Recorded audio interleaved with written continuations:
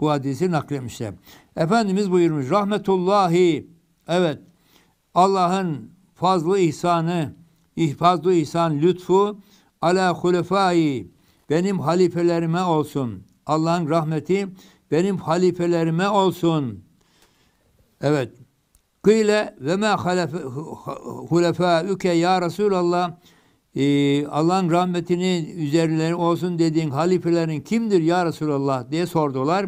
Kâlellezîne evet e, yuhyûne sünneti benden sonra gelecekler. Evet benden sonra gelecekler. Yeci'ûne min ba'di benden sonra gelecekler. Yuhyûne e, sünneti benim sünnetlerimi ihya edecekler. Evet benim sünnetlerimi ihya edecekler.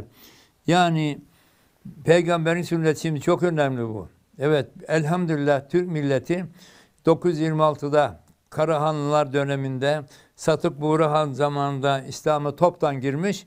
E, Satık Buğrahan demiş ki ben inceledim Hanefi mezhebi üzere e, et, ehl sünnet itikadı üzere ben Müslüman oldum. Siz de Müslüman olun. Biz böyle bir milletiz. Başımızdakinin emrine uyarız.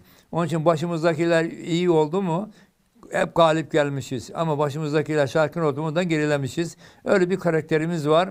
Daha evvel Müslümanlara birer birer girenler var ama toptan Müslüman olmamız bu 926'da e, Karahanlar döneminde olmuş. Çok samimi Müslüman olmuşlar. Her zaman söylüyorum. Bu samimiyet dolayısıyla Cenab-ı Hak da onların kapılarını açmış. En büyük İslam alimi Buhari mesela o devrin insanıdır. Türktür. İmam-ı Azam Ebu Hanife öyledir. Zemahşeri Türktür. Yani Muhammed Bahaüddin Hazretleri Türktür. Yani bunların ikincisi hala yetişememiş. Öyle e, bir bütün diğer ilim adamlarından da söylüyorlar. Yani İmam-ı Azam muazzam bir adam. İnsan kafası bunu yapamaz. Buhari kafası insan kafası değil. Yani insan kafasının üstünde işler yapmışlar. Cenab-ı Hakk'ın lütfu, ihsanı o Müslümanların, Türklerin ilk Türkler Peygamberimiz sallallahu aleyhi ve selleme şimdi onun için bundan buraya girdim.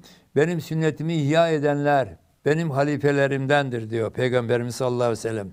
Benim halifelerimdir. Halbuki biliyorsunuz biz halifeleri Hazreti Ebu Bekir, Ömer, Osman, Ali filan diye e, dört halife meşhur. Evet bu benim sünnetimi ihya edenler de e, benim halifelerimdendir. Allah onları rahmet etsin diyor. Evet Türkler de böyle peygamberin sünneti